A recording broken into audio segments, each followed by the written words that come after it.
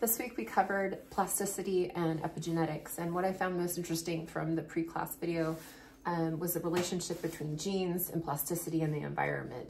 Uh, specifically based on our genes, we will react to our environment in distinct ways. And I look forward to exploring that more in detail in week 15 where we cover cultural uh, neuroscience. Um, the most interesting three things that I uh, learned were the different types of neuroplasticity, uh, for example, recuperation and restructuring, um, you know, regaining a lost skill due to a TBI versus a stroke, and then with restructuring, breaking old connections and reestablishing new ones through therapeutic in interventions. Uh, secondly, developmental plasticity, which occurs over our lifetime.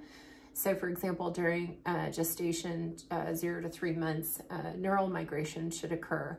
Um, if there are any genetic predispositions in that infant, such as dyslexia, uh, those will become evident within the first five months um, in the Broca and Wernicke areas, which are the language parts of the brain. And then lastly, all learning is a result of plasticity, good and bad. Um, we have physiological evidence for this in the brain.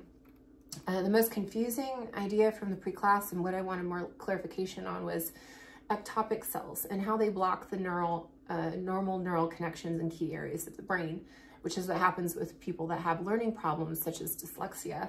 Um, I was unclear whether or not there are specific primary or secondary preventative methods that can either um, delay or bypass um, the, the activation of these normal, uh, um, abnormal neural connections with regard to ectopic cells.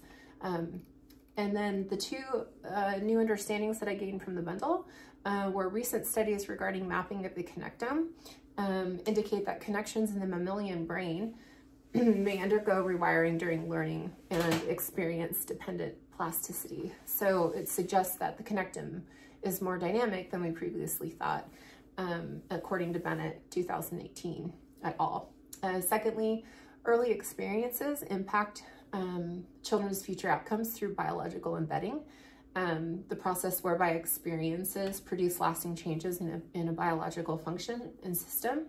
Um, for example, early uh, life social experiences, trauma, caregiver, caregiving, you know, maternal mental health, um, all are known to contribute to individual differences in susceptibility and resilience uh, in a range of physical and mental uh, health outcomes uh, in children through adulthood. So that's all I got. Have a good week, guys. I'll see you soon.